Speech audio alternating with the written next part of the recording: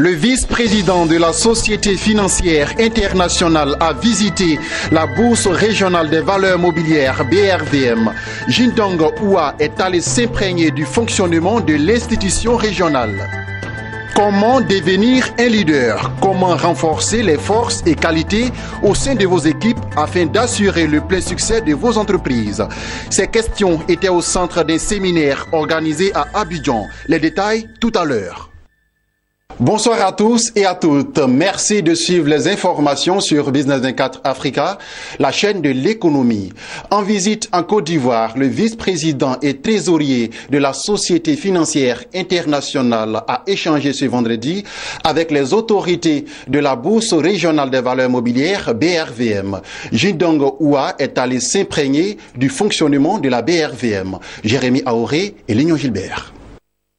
Accompagné de Cassandra Colbert, représentant résident, deux vice-présidents de la Société financière internationale, SFI, ont visité ce vendredi les locaux de la Bourse régionale des valeurs mobilières de l'Afrique de l'Ouest, bourse commune à huit pays, dont le Bénin, le Burkina Faso, la Guinée-Bissau, la Côte d'Ivoire, le Mali, le Niger et le Sénégal. Son directeur général Kossi Félix Edo Amenouvé s'est dit heureux de recevoir la délégation de la SFI qui a été instruite sur la feuille de marché par le service cotation et de surveillance de marché.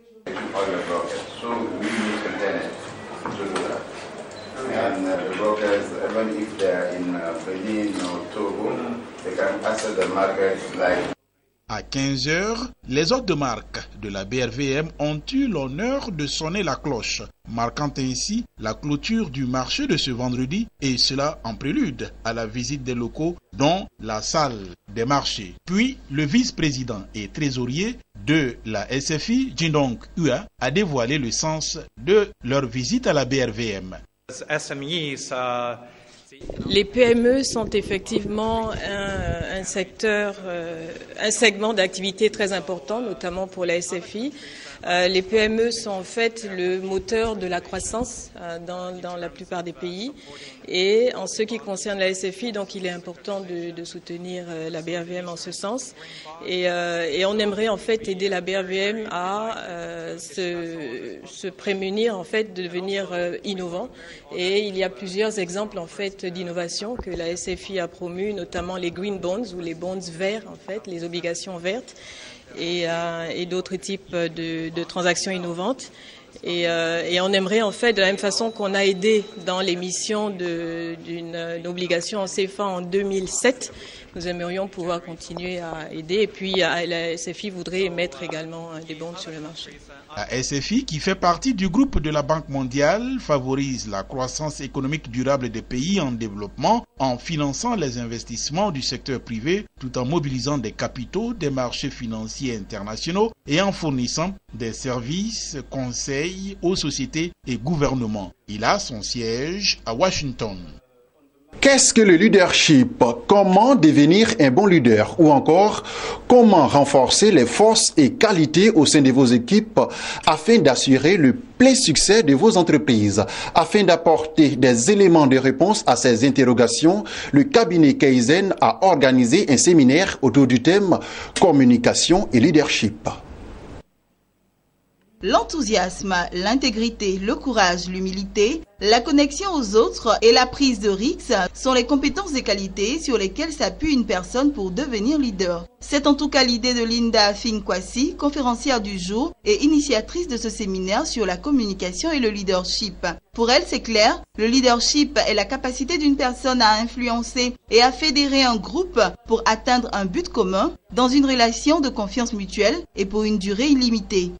Donc pour devenir un bon leader, il faut déjà croire en soi, croire aux autres, être humble et surtout croire que les autres ont la capacité d'y arriver en leur, inculquant certaines facultés, en leur permettant de rêver, en leur permettant de s'exprimer et en leur donnant un certain positionnement pour qu'ils puissent savoir qu'ils ont de la valeur. Une fois qu'on sent et qu'on sait qu'on a de la valeur, on arrive à mieux s'intégrer, on arrive à mieux développer les personnes autour de nous.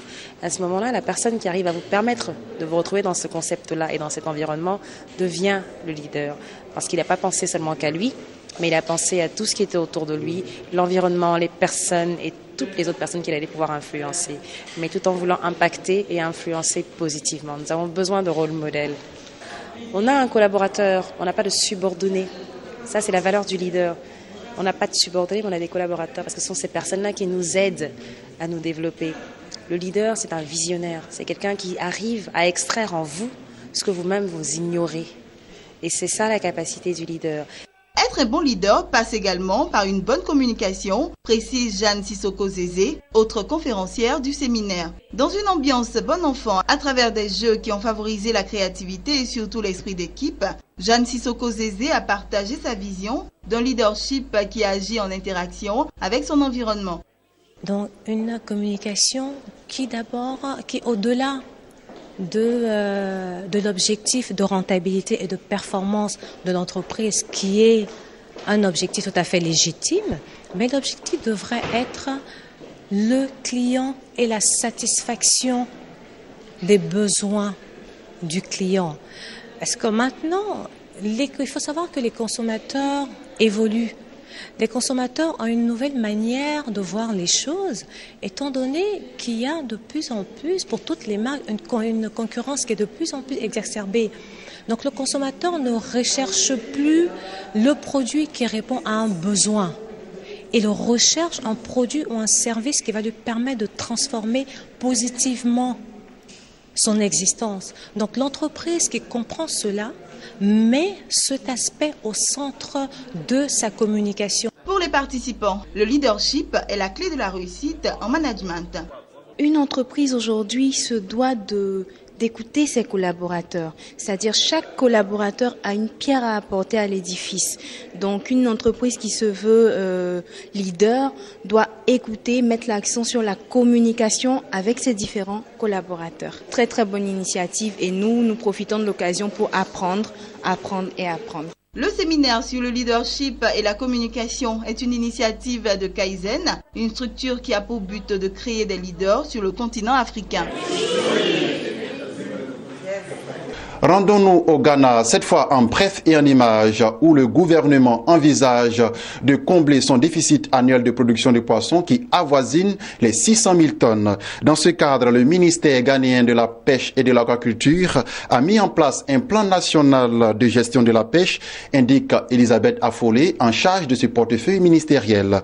Cette feuille de route devrait permettre de fournir des orientations sur les stratégies à adopter afin de répondre à la demande en poissons du pays évalué à 1 million de tonnes par an. Toujours en bref, au Zimbabwe, le ministère des technologies de l'information et de la communication, des services postaux et du courrier a révélé le 6 février dernier que le gouvernement zimbabwéen va déployer plus de 600 tours télécoms à travers le pays. L'objectif est d'améliorer l'accès des populations aux télécoms. Le ministre s'exprimait face au comité parlementaire en charge des télécommunications. Les travaux d'installation des équipements télécoms à travers le pays, plus particulièrement dans les zones rurales, seront réalisés par l'autorité nationale des postes et télécommunications. Fin de ce journal. Merci de nous avoir suivis. Je vous retrouve dimanche à 21h pour une nouvelle édition.